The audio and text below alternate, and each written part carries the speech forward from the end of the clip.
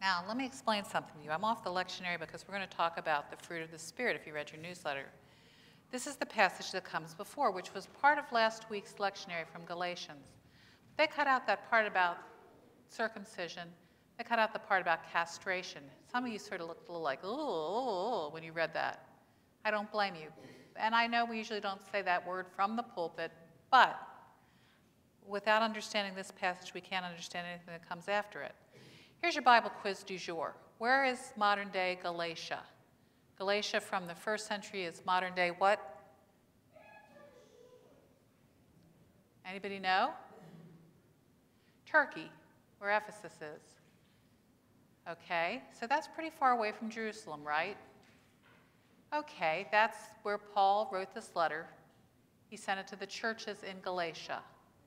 Now, here's your big Bible quiz. And I said at the first service, anybody who can now, if you were at the first service and you answered this, I'm not giving you my car. I said, I was so confident that no one would get this answer, you could have my keys to my car and drive away free and clear.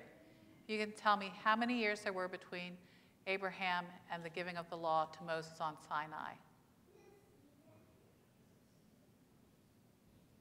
Any idea? Let me hear a guess. 600? Nope. It's better than the guesses we got at the first service. They said maybe 100. It was over 400 years, over 400 years between the giving of the law and um, Abraham walking the earth and being called by God. You need to know these things to understand this book. And to understand this book is to look at Paul. This is Paul ticked off. This is Paul angry. This is Paul writing a letter saying, What has gotten into you people? Because he said, Everything I taught you while you were with me, you've forgotten. Now, this is where the Jewish part of the people who follow Jesus splits off from the people who came to Jesus as Gentiles. Like I said, Ephesus and Galatia were pretty far away from the place where Jesus was, where the Jews were living in Jerusalem and in Israel, in that area. But they had moved around, and this word was spreading. Now, Paul is really angry at Peter. They have sort of a battle at the beginning of this book of Galatians. And it's only six chapters, so I would advise you can go home and read it probably in 15 minutes, if that takes you that long to read the whole thing. But Peter, remember Peter in Acts is sent to a place, and what drops down from the sky but this huge sheet filled with animals, and he said, God said, kill and eat. He said, I'm not going to eat those. They're unclean. And God said, Don't say that what is I've said is that I've said is clean is unclean. Peter had started to minister to the Gentiles, but then Folks in Jerusalem got angry at him, and Peter wimped out. That's the only way to say it. He caved. He said, Nope, can't do it. And that's when Paul becomes the apostle, the missionary to the Gentile world, and Peter sort of sticks with the folks back in Jerusalem. So Paul is saying to them, Why is it now that suddenly you're back to the old ways? Because the Jewish Christians were saying what? Had to submit to the law, and the law requires what, guys? Circumcision. Now, Paul said, if you have to be circumcised, then you're subject to the whole law, which means that you're going to get your righteousness by obeying the law. Which Paul is saying, no, no, no, no, no. Righteousness comes from who alone? Jesus Christ. So he's saying to them, if you're going to get circumcised, you might as well just go all the way. And you know that C word that we just read that everybody sort of cringed over. That's how angry Paul is at this moment because he said, You're trading Christ for law. Law's not going to get you there. Now, look back at when the law was given. How many years after Abraham did the law come into being? Over 400. Remember, I just told you that about 13 seconds ago, and you've already forgotten. Over 400 years passed. So was Abraham really under the law? No, there was no law. So Abraham, and if you read the book of Hebrews, it said it was reckoned to him because of what? His faith. It's his faith that got him to God. Picture Abraham, if you will. We don't have anybody in this church, I think, probably as old as Abraham was when he decided to leave. Milt's probably getting close, but not even there. Not, no, you're, you're a little farther than that. Abraham is a man of wealth. He's a man of lands and flocks and herds, and he's ready to sit on the porch and put up his feet and say, Ah. And God says to him, I have a job for you. I want you to get up and go. And Abraham gets up and goes on the basis of this conversation with God. not the God that he had known before, but this God who called him and said to him, Your descendants will be as numerous as the stars, as numerous as the grains of sand on the beach. And Abraham goes because of his faith. So Paul's saying, Be like Abraham. Not that he has a problem with Moses or the law, but the law was given for two reasons. One, the kids, the kids got it this morning. What is it? What's the law given for? To keep you in line, right? How many of you have laws that keep you in line? Husbands and wives, right? There are things that you do to keep yourself straight, on the straight and narrow, right? But then the law is given also to keep you safe, to keep you from hurting yourself. God said to the people, they were running amok. And he said they need some sort of guidance until the day of my arrival in Jesus Christ. And so the law is given to them. The law that keeps them in a good relationship with God and a good relationship with each other. Because look at how many of those laws deal with other people. You shall not commit adultery. You shall not steal. You shall not bear false witness against your neighbor. You shouldn't cover what your neighbor has. Now, the books of law are called what? Our Jewish brothers and sisters, the Torah right? The Torah. What are the first five books of Scripture? I'm going to just quiz you today until you're just so tired of this. Genesis.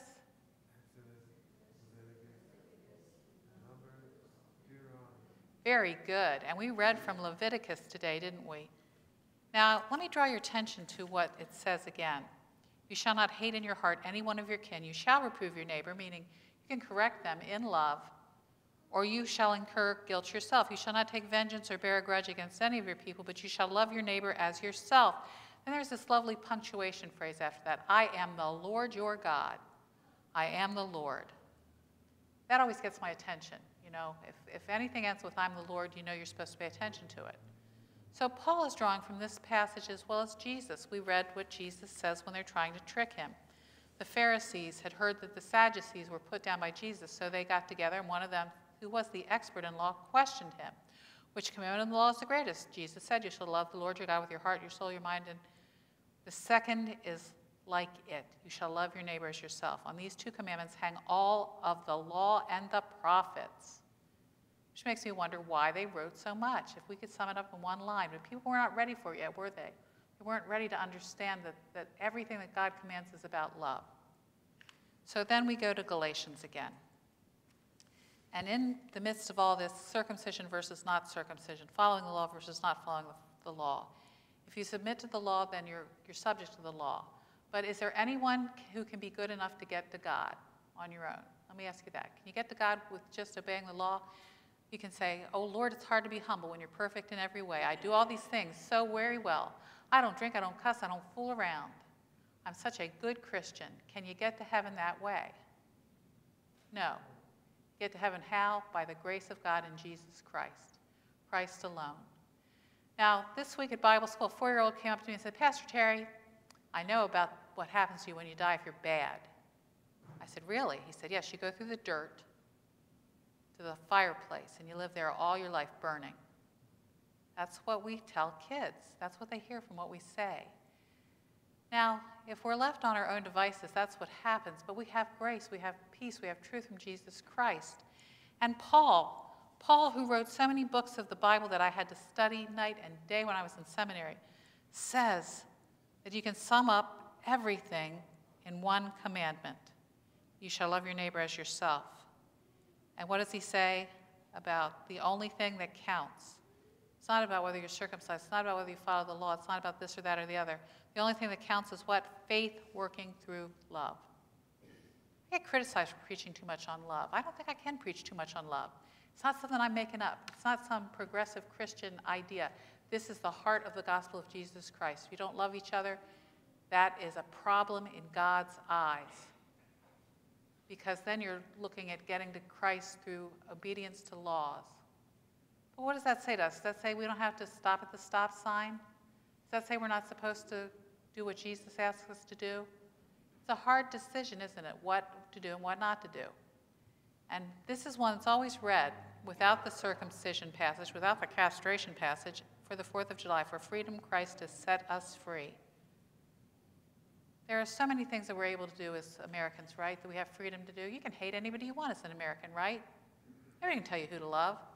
But Jesus Christ says, oh, yeah, you can't hate people. You can't seek vengeance against those who are your enemies. You can't have enemies if you're in me. You just can't do it. You've got to live a different way. So here we are in the 21st century. And the passage that gets me every time in this one is You shall love your neighbor as yourself. If, however, you bite and devour one another, take care that you are not consumed by one another. We're living in a precarious age in our nation's history, aren't we? Where people are devouring each other, they're biting at each other, they're snapping at each other. It was really great at the first service. Somebody said she and her brother decided to unfriend each other on Facebook because if they friended each other, they just fought about politics. You don't do that with your friends, right, on Facebook? No. No, a lot of people won't do that, and that's a good thing. Because we're going to disagree on political methods, aren't we? We're going to agree on, disagree on political leaders, which is why we use the passage from the psalm that we read this morning. Don't put your trust in princes. Don't put your trust in a political party or a particular president or nominee. Put your trust in God. Because is there anybody on this earth who can solve the world's problems other than Jesus Christ? We're called in His name to go forward in love. Now, what would happen in your family if the rule of love took over the rule of fussing at each other? What if it became about love in your own family? Not, not necessarily the people who live under your roof because you love them or you'd go crazy if you didn't. But how many of you have an uncle or a brother in law who just says stuff that just plucks your last nerve all the time? What if you loved each other despite your differences? What if you loved each other because of your differences? What if you could sit down again and talk about politics without screaming at each other or, or attacking each other? The world would be a different place. What if this congregation gave up old grudges? I'm sorry, there are old grudges in this congregation. I've heard about them. You know it's true, right? Anybody going to deny that one to me? Every congregation is the same. People remember things that happened 25, 35, 45 years ago. I've told you before about going to someone's 50th anniversary party and somebody else in the church came up to me and said, You know, they had to get married, don't you? People like to dig up dirt and dish dirt on each other, but not in the name of Jesus Christ. We can't do that. We've got to let it go. We've got to let it go, let it go, let it go.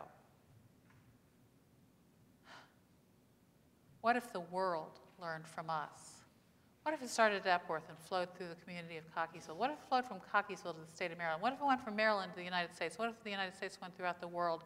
The people with different opinions and different faith traditions could get along if we just allowed ourselves to love instead of going to our corners and hating each other. It's hard. It's hard to love sometimes, isn't it? But Jesus Christ gave himself on the cross so that we might know love because he loved us. This is why I love Holy Communion. It's what reminds me all the time of why I answered God's call. Holy Communion and baptism are the two things that got me into ministry.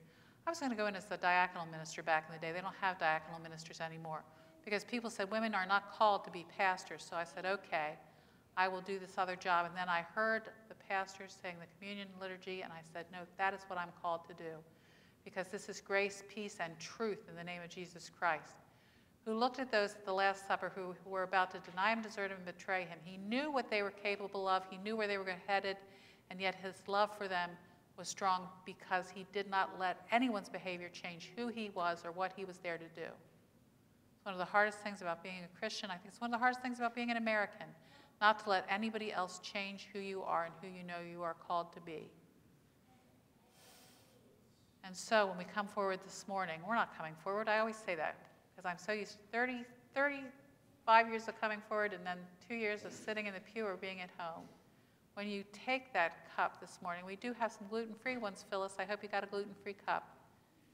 We ordered them for you. Leslie's going to bring you one right now.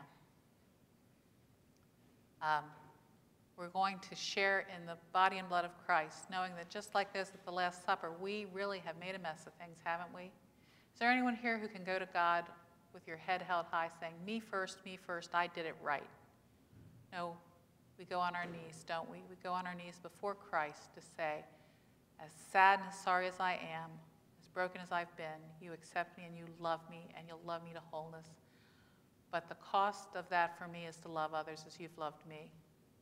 or we make a mockery of what Jesus did for us for the sake of the world.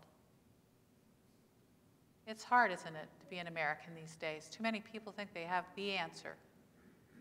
And I always tell people if you voted for the guy that did not win in any election, not this one, in any election, pray twice as hard for him because you think he's doing a lousy job. Pray for the president, pray for the governors, pray for the leaders in Congress. Pray that they might see the truth of God and Jesus Christ. They might act out of love for all people. I'm very grateful to be an American. I really am. I'm grateful for the laws that protect us, even though I don't agree with all of them. I'm grateful for the history that brought us to this place, but it's a history that's got a mixed bag in it. Now, when the forefathers, not the foremothers, the forefathers wrote that Declaration of Independence, they left women out altogether. And they kowtowed like Peter did. They kowtowed and left slavery in the books. Our history has some problems in it, but for the most part, the United States works toward the arc of justice. That's who we claim to be, and that's who we can be in the name of Jesus Christ. It Just takes us setting an example for the rest of the world. So think of the person who argues with you politically more than anybody else, no matter what your position is. Because you know what I've heard? There are Republicans in this church. Did you know that? Did you know that, Milt? There are Republicans here. You know there are Democrats here? Oh my Lord, there are Democrats here. No? Yeah, there are. There are libertarians here. There are socialists here. Oh my golly Moses. And you know what? We can all get along with each other because we can put the common good ahead of our own idea of how we should get there. We can do that in the name of Jesus Christ, who gave himself for our sake and the sake of the world. I miss the day when we could talk about politics and debate because I learned from people who didn't agree with me. But now we just devour each other, don't we? Unless we listen to Jesus Christ and to God who said, I am the Lord. You shall love your neighbor. The whole of the law can be summed up in love your neighbor as you love yourself. And if the only thing that counts is faith working out itself through love, we have a calling and we have the ability to do it. So I'm sorry that we had those C words in this service today that circumcision and that other one that's like Paul saying, all right, if you're going to circumcise yourself, just go for it, guys. He was angry. That's some anger there. But we can get beyond that to looking what it is to live in the Spirit, because that's what the fruit of the Spirit is about. It's not a nice little fruit salad made of nice, happy thoughts. It's who we are called to be and what we're equipped to be in the name of Jesus Christ. So I invite you now to think on these things as we sing together about everyone coming to the table of Jesus Christ, and then we'll share together in the sacrament of his love for us. Would you join in singing, standing as you're able?